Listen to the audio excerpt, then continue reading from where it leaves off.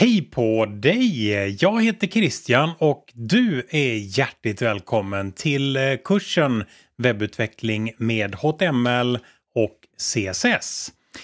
Eh, vi är tre stycken personer som kommer att hålla i den här kursen. Det är jag som är examinator för kursen och eh, tillsammans med mig så har vi även Patrik och Stefan Eh, Eh, jag kommer att eh, ha hand om HTML och eh, CSS-bitarna i kursen.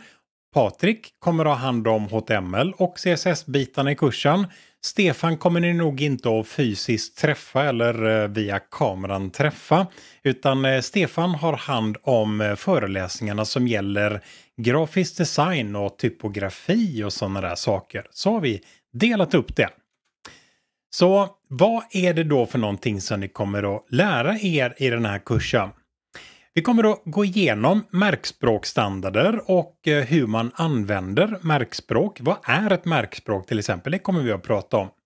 Vi kommer att eh, kika på hur man semantiskt ser till att eh, märka upp webbsidor. HTML är inget programmeringsspråk. Det är ett eh, märkspråk istället. Vi markerar olika delar av en eh, text exempelvis och vi kan presentera det här på en webbsida. Så det är det vi kommer att göra helt enkelt. Vi kommer att använda stilmallar senare i kursen också och stilmallar har man för att se till att saker och ting eh, ska se ut på det sättet som man vill att det ska se ut. Vi använder HTML för att få content på sidan och eh, stilmallar för att byta utseende på den content som vi har på vår webbsida. Så jag kikar på naturligtvis då hur man gör för att koppla en stilmallsdokument till sin HTML-dokument så att man får just den stilen man ville på just den filen som man ville. Vi kommer att kika på hur olika webbläsare gör för att tolka och rendera HTML och CSS-kod. Vi kommer att sluta äntligen i kursen kan man säga att kika på hur man gör responsiva webbsidor, det vill säga webbsidor som anpassar sig inte för att, eh, inte för att de ser inte ut som de gör utan de anpassar sig i layout beroende på vad det är för enhet som kommer till dem. Ni vet, om man kikar på en webbsida på en desktop eller om du kikar på den på en mobil så ser det oftast annorlunda ut. Vi kommer att kika på lite grann hur man gör för att eh, skapa så kallade responsiva webbsidor, det vill säga webbsidor som anpassar layout efter enhet som besöker sidorna. Så det är det vi kommer att lära oss i alla fall. Vi kan säga att eh, innehållet i den här kursen består av eh, tre stycken klumpar. Eh, först och främst så har vi HTML och syntaxen som vi använder oss av. Det är den första delen, hantera HTML. Andra delen handlar om stilmallar. Hur gör vi stilmallsregler? Vad kan vi ändra och hur ändrar vi saker och ting? Tredje benet som kursen står på är hur kan vi testa det hela? Hur anpassar vi det hela för att funka så bra som möjligt på webbläsare. Det finns ju massvis med olika webbläsare. Hur gör vi för att få det att funka bra på allihop helt enkelt? Det som kursen är byggt av, kursen i stort så att säga. Vi har i kursen åtta moduler. I de här åtta modulerna så gör man och lär sig massa olika saker. Den är uppbyggd av att vi har fyra stycken checkpoints och efter det så har vi då en examinationsuppgift. Så åtta moduler, fyra checkpointar och en examinationsuppgift. Vi tar och kikar det där lite mer i detalj vad det är för någonting som de är för någonting. Modulerna, det vill säga det som ni kommer att få lära er, det är de här. Första modulen är en introduktion till HTML. Hur funkar HTML helt enkelt? Sen kommer vi att prata om verktyg och sen så börjar vi få in lite grann om stilmallar. Vi pratar om HTML och CSS. Efter det så är det dags för typografi. Eh, då kommer Stefan in och lär oss eh, en hel del om hur man ska tänka vad det gäller typografi och webben. Efter där så har vi lite om semantik och sen så pratar vi om hur man gör för att felsöka. För fel blir det. Eh, mer om det senare. Eh, och hur gör vi för att göra det hela responsivt? Och sen så rundar vi av det hela med lite tips och tricks för vad man kan tänka på när man ska göra webbsidor och så vidare. Så där är modulerna, det är det som eh, vi kommer att gå igenom så att säga. Det som du ska göra i kursen är eh, till att börja med dessa fyra stycken checkpoint-uppgifter. De här checkpoint-uppgifterna de bygger liksom på varandra. Och eh, vi börjar med den första checkpoint-uppgiften att eh, tagga upp en HTML-sida. Ni får en text och den taggar ni upp. Eh, hur man gör naturligtvis, det kommer vad det lider i modulerna som vi går igenom.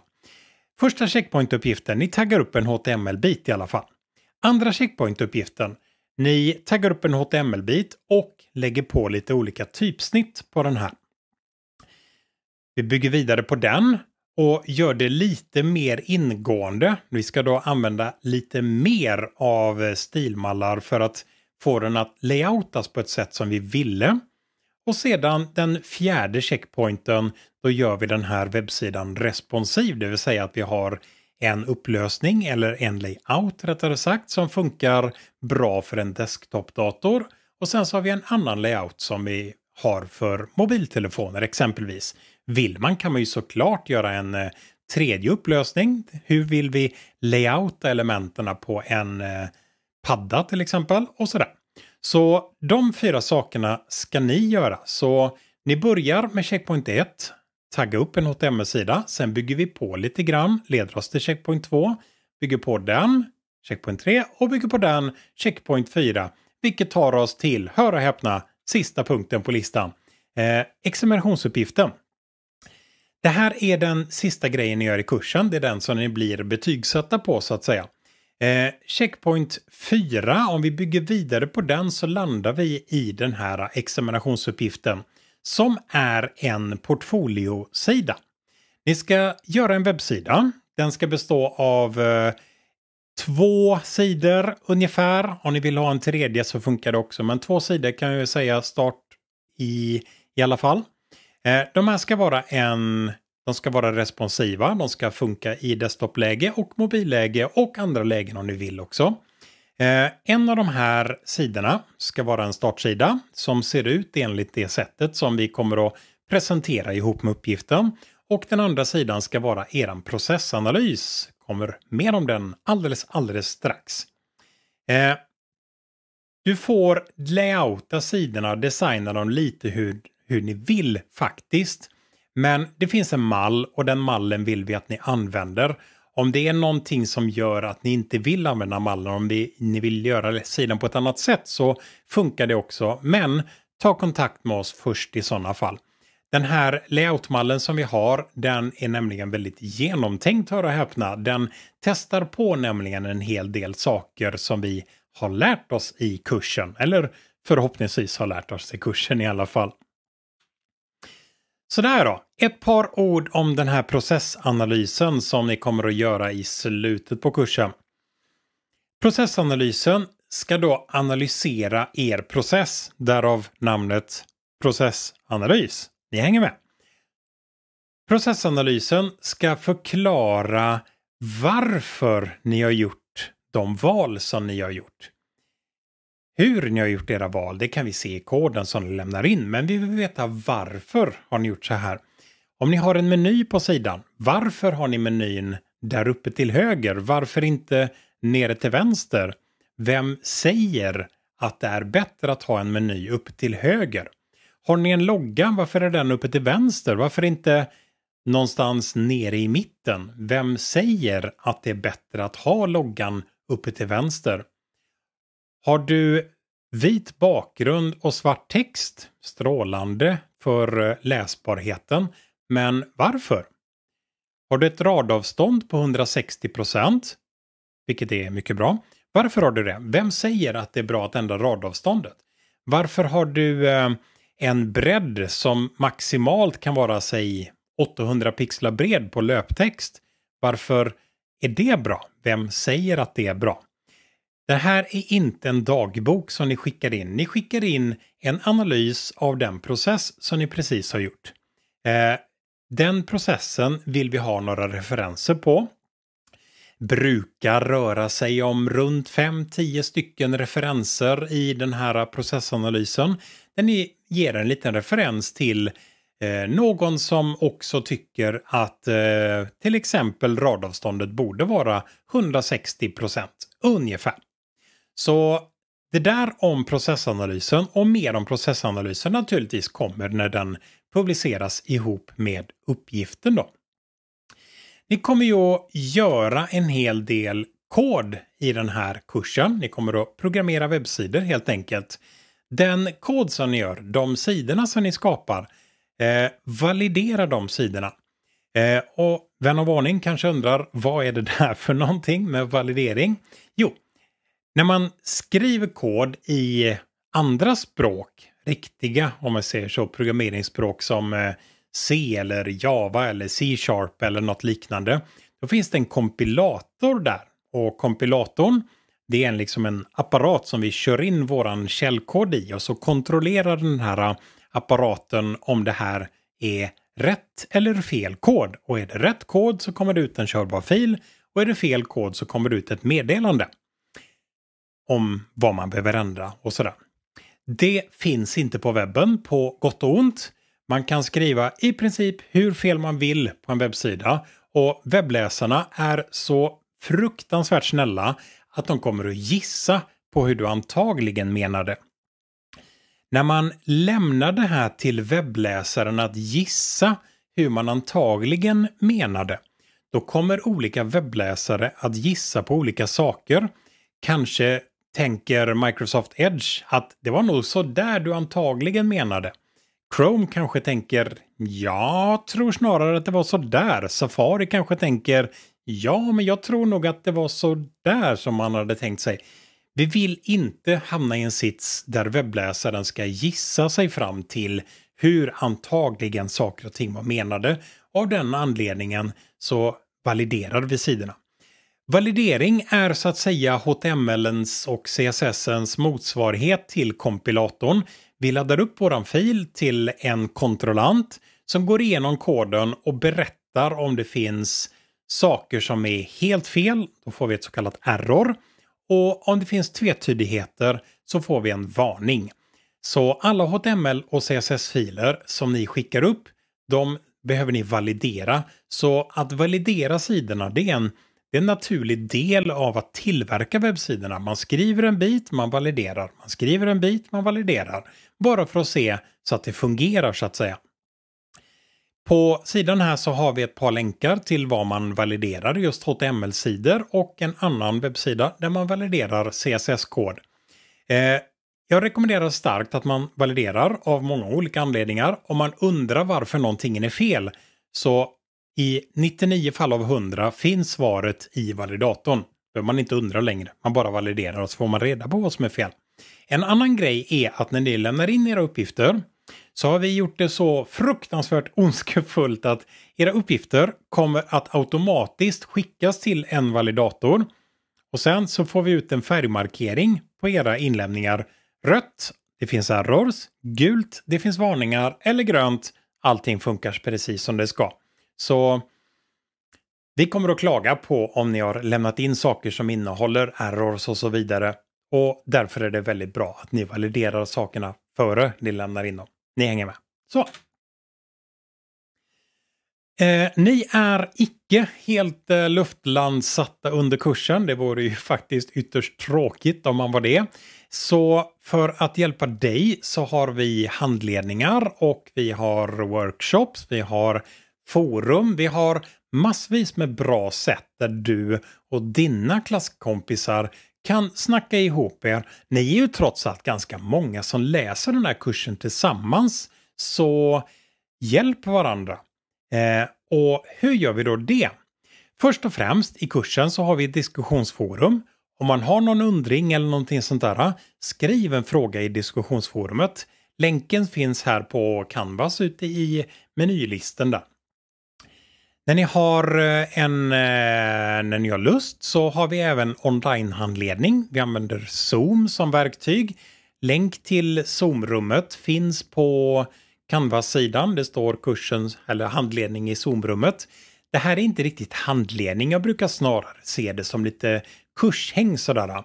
Att man helt enkelt hoppar in i Zoom-rummet, med, gärna med webbkameran på och definitivt med, eh, med headsetet på.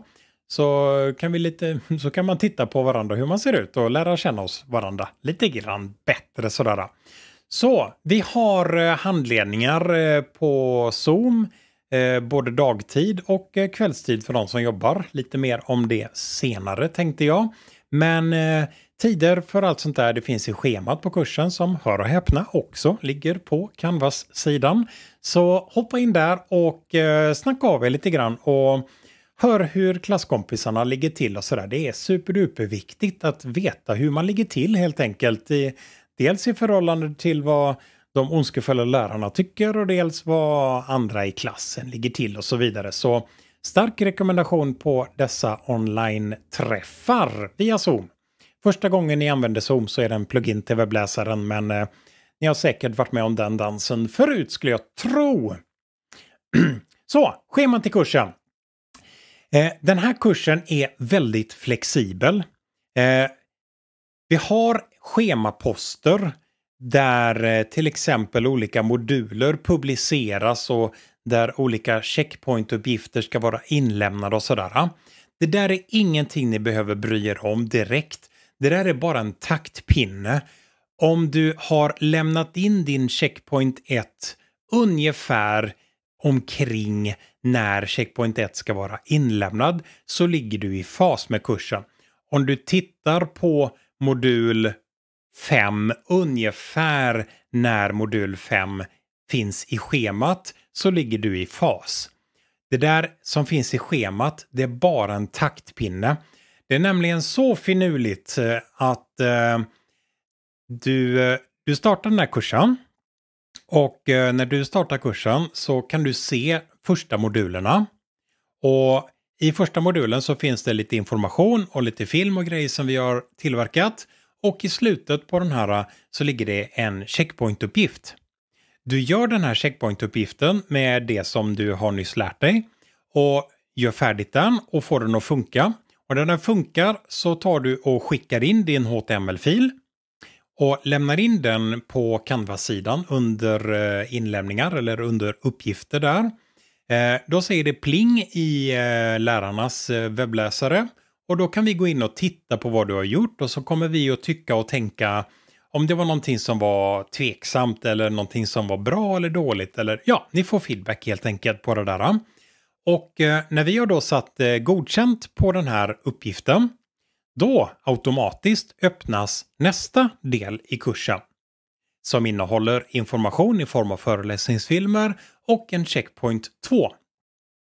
Ni gör den här checkpoint 2-uppgiften med den kunskapen som ni precis har fått och lämnar in den här checkpoint 2-uppgiften på samma sätt som förut. Ni lämnar in HTML och CSS-filen zippat och skickar upp det på Canvas-sidan.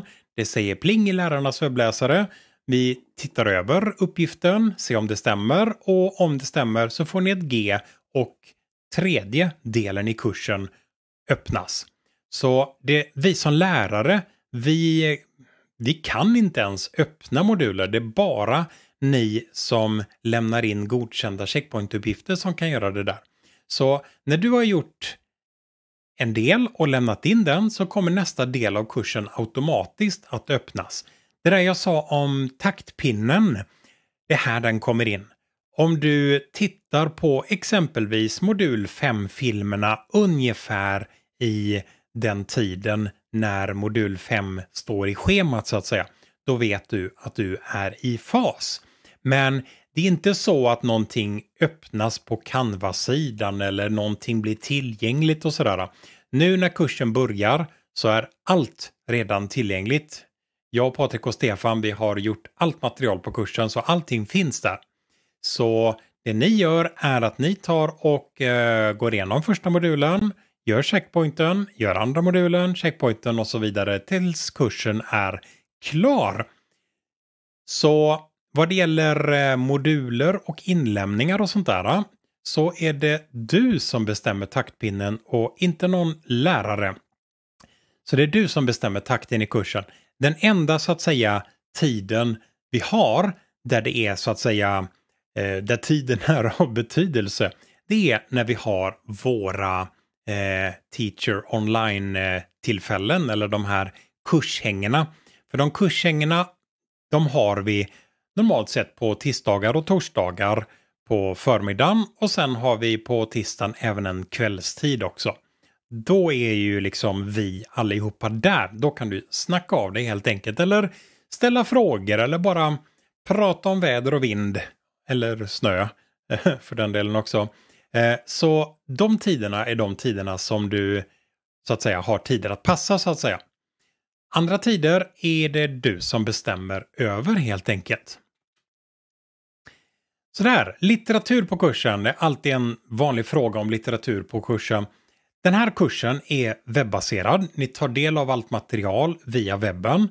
Eh, jag och Patrik och Stefan, vi har gjort mängder i filmer. Ni kommer att få ont i magen när ni tittar på CSS-filmerna till exempel, för där har vi en det, det, vi snackar Sagan om ringen-trilogin här. Extended till och med. Så mycket videomaterial är det som vi har spelat in eh, speciellt om CSS. Den är jättebauta. Så har ni en liten heads-up på det där. Den är stor. Jätte, jättestor. Så, ni, eh, ni har ingen kursbok i den här kursen. Det finns ingen anledning att köpa någon kursbok. Allt material som, eh, som ni behöver det finns i videofilmer som jag, Patrik Stefan, har spelat in åt er.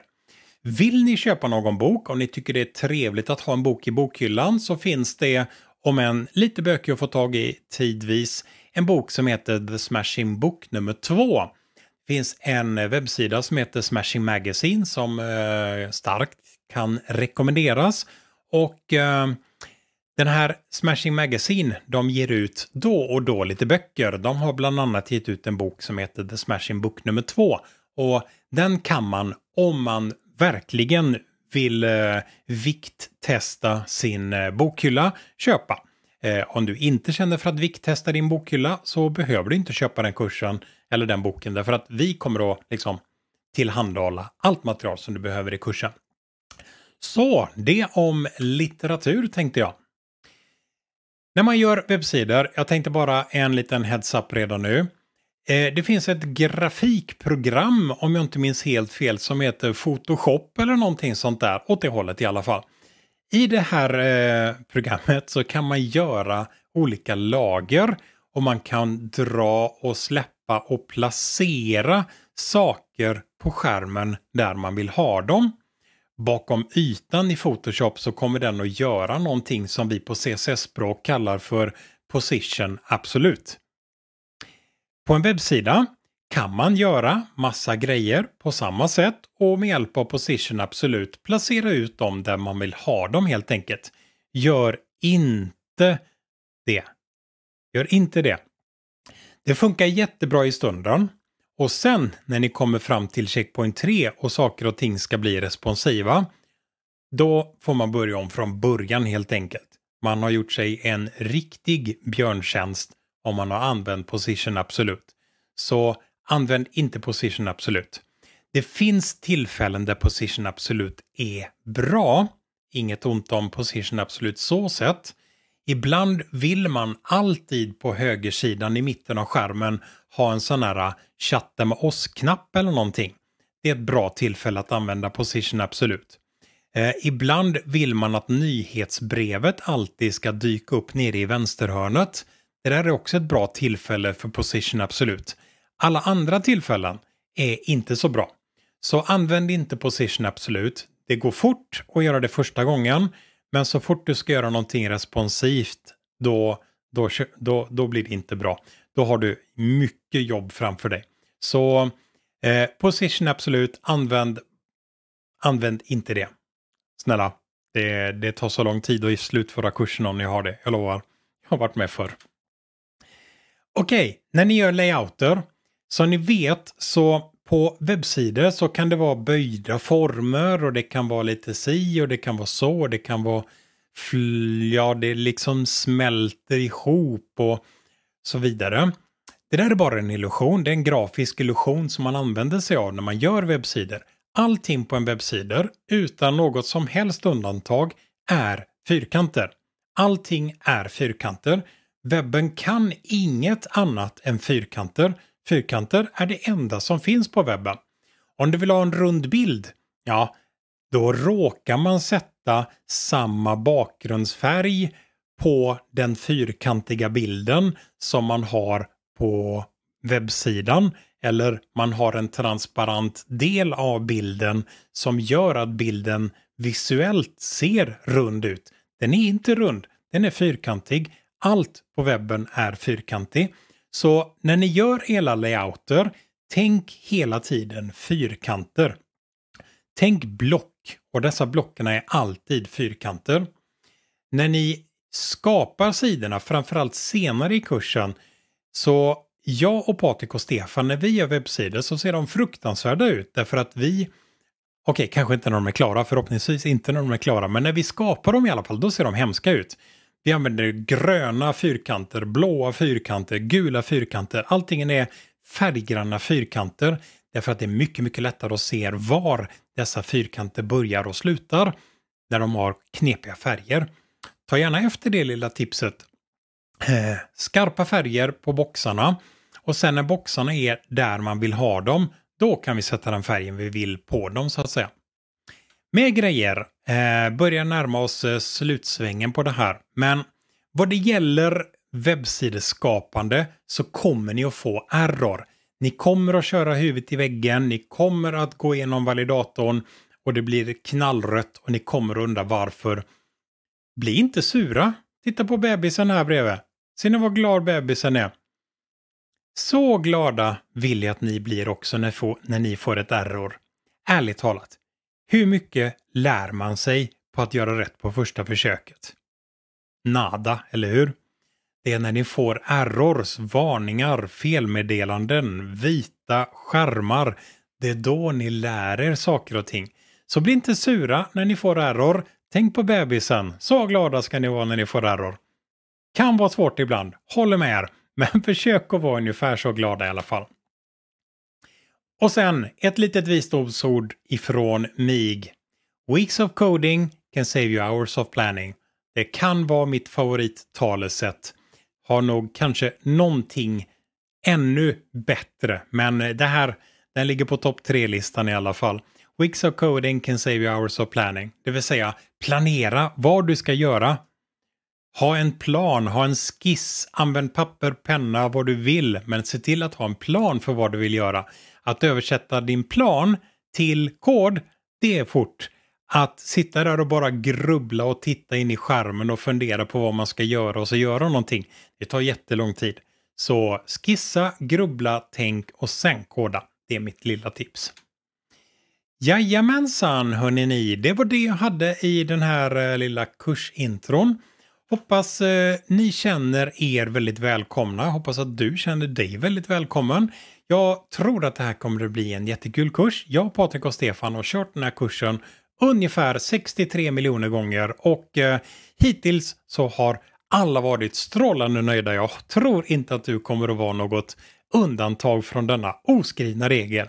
Så Eh, nu sätter vi igång och så tar vi och kodar webbsidor eh, allt eftersom kursdelarna öppnas här.